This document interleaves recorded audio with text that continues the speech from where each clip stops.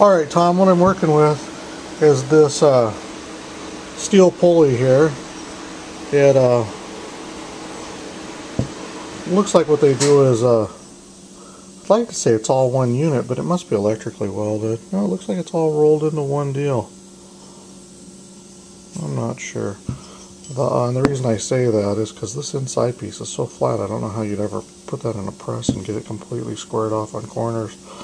Uh, but at any rate, it's 120 millimeters from the inside, on the, the inside diameter of the pulley, and then the offset on the uh, this piece is about 8 or 9 millimeters from here to here.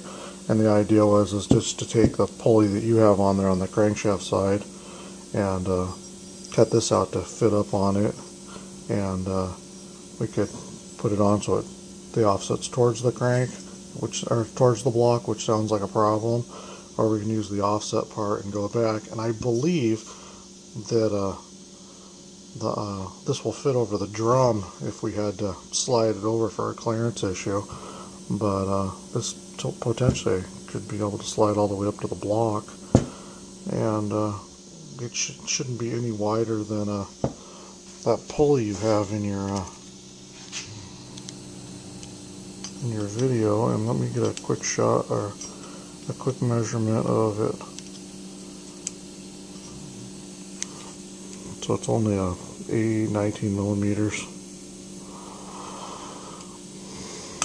Thick on the uh, stand it up. I don't have enough hands. So it's about 19 inches thick there.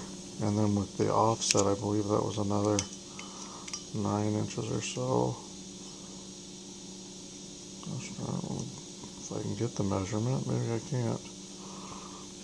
Anyhow it looks like it's about 25 inches or 25 millimeters so that's what about uh, one millimeter or one inch. The, uh, but uh, that's what we're dealing with.